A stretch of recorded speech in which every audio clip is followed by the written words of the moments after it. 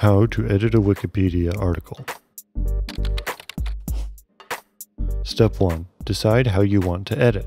You can edit Wikipedia with or without an account. Editing without an account will publicly record your IP address in the page history. Your IP address may disclose your actual location.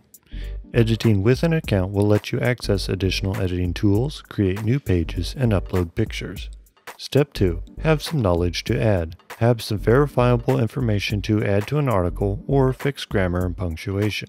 Step 3. Edit. Click on Edit at the top of the page, or if you only want to edit a specific section, click on the Section Edit option. Some pages are protected from editing by new users and inexperienced editors. These pages will not have an option to edit. There are two editing modes on a page, source editing and visual editing. Source will allow you to see the actual wiki text of a page. Visual editing lets you edit the page as how it will look when published. Step 5. Edit Summary.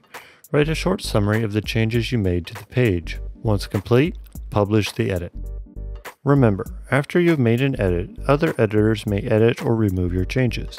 If that happens, read the edit summary or ask the editor on the talk page if you have a question. Do not engage in an edit war. Be aware of the three revert rule. An editor must not perform more than three reverts on a single page. Tip. When adding information, be sure to use reliable sources. For more information, type WP source in the search box to view the relevant policies. But as a quick note, blogs, self published books, and social media are not reliable sources. Do not write about yourself or organizations you work for. That creates a conflict of interest. If you are notable enough for a Wikipedia article, other editors will write about you. And that's how you edit Wikipedia in 5 steps.